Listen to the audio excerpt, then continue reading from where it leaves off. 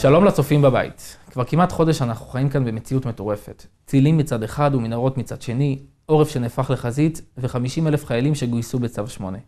מה לא אמרו על החברה הישראלית, שהיא מפולגת, שהיא משוסעת, דתיים, חילונים, ימניים, שמאלנים? אבל מה שבטוח שבעיתות מצוקה כולנו נהפכים לעם אחד. איך זה נראה? בואו נצפה בכתבה.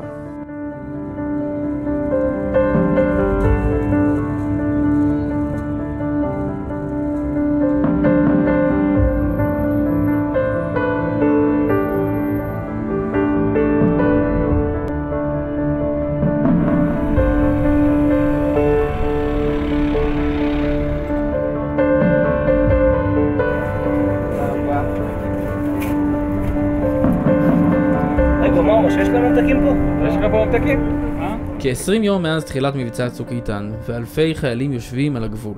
ההיענות בם לעזרה גדולה מאוד. גם ארגון הידברות הוריד אלפי חבילות לחיילים בשטח.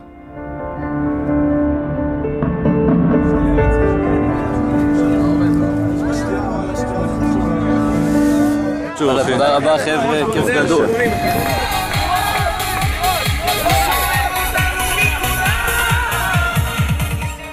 אנשים ויוזמות פרטיות היורדים לדרום עם ציוד ואוכל חם לחיילים, זה מחזה שכיח.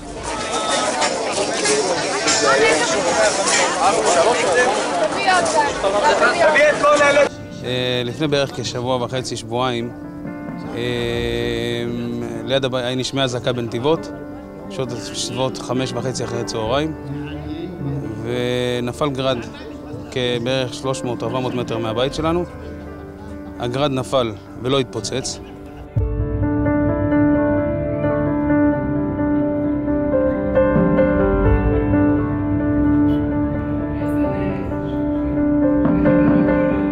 גם העיר אלעד נרתמה לעזרת תושבי הדרום, כשאירחה בסוף השבוע כאלף מתושבי הדרום. המתארחים רק רצו לתפוס שבת שקטה מרעשי המלחמה, ולא ציפו לקבלת פנים חמה כל כך. שמענו את הענייני דרך אה, חברים, משפחה ששם, שאמרו שיש, אה, נקרא לזה נופש. ואני באמת הרגשתי ממש כמו שאני בבית מלון, אפילו יותר, יותר טוב מבית מלון. אוכל בשפע, יחס מדהים, כל כמה דקות. אם זה חבר'ה מתנדבים, או מצד גם התושבים שעזרו. האחדות הזאת עושה רק טוב, וגם תעשה רק טוב. אה, בשבת התארחו פה קרוב למעלה מאלף איש מתושבי הדרום, שהיו פה במהלך השבת, היו מיום חמישי בבוקר. אה, ארגן על ידי העירייה בשותפות של אה, עזר מציון, פנינו לעזר מציון לעזרה וסיוע ונתנו פה את כל הכתף, נתנו פה את כל ארוחות השבת, נתנו פה את כל מה שצריך, עשו פה פעילויות לילדים. אה, אנשים פה באו, פשוט ראית את האור בעיניים שלהם, ראית את החיוך, ראית את השמחה, ראית את שמחת החיים אצל הילדים, ראית את ההורים שבאו ואמרו, טוב לנו לילדים, נוח לנו, אנחנו מרגישים פה משוחררים. אפילו שהיה פה גם אזעקה אחת או שתיים, אבל אתה מקבל את הפידבקים, אז אפילו עם כל העבודה הקשה מסביב, זה נותן לך את הכוח להמשיך ולעשות את הפעילות היפה הזאת. תושבי הדרום המתארחים כאן, שאני נבנה ביניהם, תושבי המקום, אלעד, המארחים הנפלאים שלנו. אנחנו הגענו, לפני שהגענו לכאן, לאלעד, אז עברנו לפני כן לירושלים. ויכול להיות שאנחנו נמשיך לבית שמש.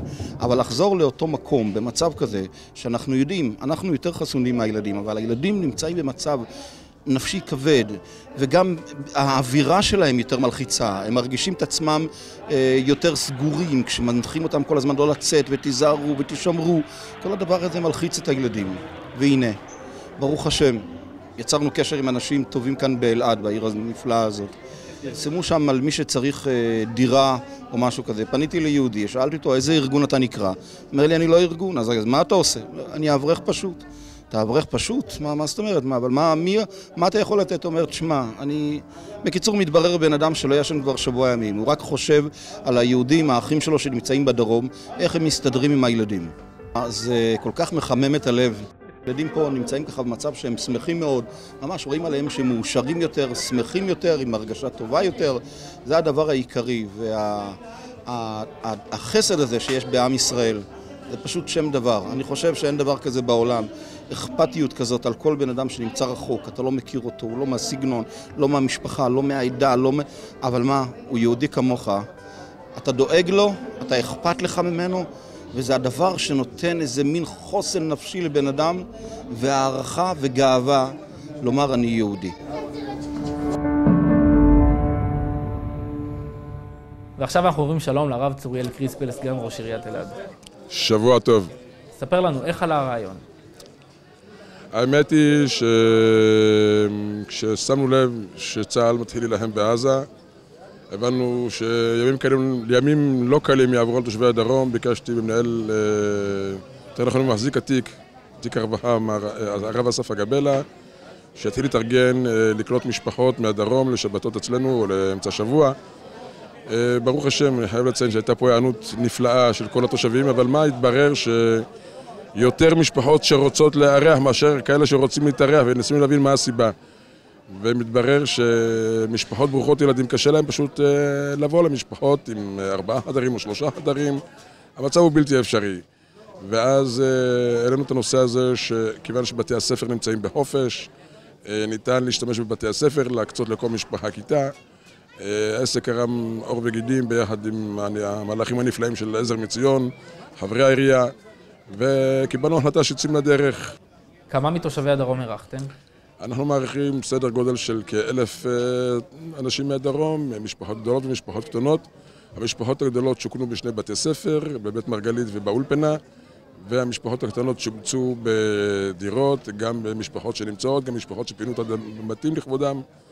אה, המערך שהביא פה את כל נושא האוכל גם דאג למשפחות שמתארחות, מי שרצה. אה, בנוסף, ארגנו לאנשים פעילות אה, פנאי, שזה אומר בריכה, מתנפחים, כל מה שילד יכול לעלות על דעתו, פשוט לראות את, ה, את החיוך על האנשים, את השקט, את הרוגע, והיה שווה כל מאמץ, ברוך השם. יש פה איזה עדכון, אחד שהיה פה בשבת מבאר שבע, קיבל... שמענו, שמענו, שמענו, שמענו שמשפחה שהתארחה כאן בשבת אה, זכתה לביקור בית של איזה קסאם, אבל עקב זה שהיא הייתה פה בשבת, המשפחה נשארה בריאה ושלמה, וברוך שקילה חמתו על עצים ואבנים, ברוך השם. מה התגובות שקיבלתם? אה, הלב לא מכיל את התגובות, פשוט אה, אין מילים. לראות את האימהות חוזרות מבריכה ברוגע עם מגבת על הגב, או את הילדים שחזרו מפעילות חברתית, פשוט היה שווה כל מאמץ. חסדי השם, ברוך השם. תודה לרב צוריאל קיסטר. בבקשה. השאלה הגדולה אם באמת נזכור לקחת את החיבור המבורך הזה הלאה ולדעת שבסופו של דבר אנחנו עם אחד. ועכשיו לפינתנו, היום לפני. היום לפני 67 שנים עגנה בחופי ארץ ישראל אוניית המעפילים יציאת אירופה, או בשמה המוכר יותר, אקסודוס. האונייה יצאה מחופי צרפת בכ"ג תמוז ועל סיפונה כ-4,500 מעפילים, ובהם 1,700 ילדים ותינוקות. הבריטים השתלטו על הספינה, ובמהלך ההשתלטות נהרגו שלושה נוסעים ועוד עשרות נפצעו. הם הובילו את אקסודוס לנמל חיפה, שם העבירו בכוח את המעפילים לשלוש אוניות, שיעדן נמל דה בוק בצרפת. אך שם המעפילים סירבו לרדת מהאוניות, ובמשך שלוש שבועות התבצרו על הסיפון, עד שהבריטים העבירו אותם לנמל המבורג שהיה בשליטתם, ושם הורדו בכוח והובלו למחנות מעצר. תודה לכם שהייתם איתנו, והמשך ערב טוב ושקט.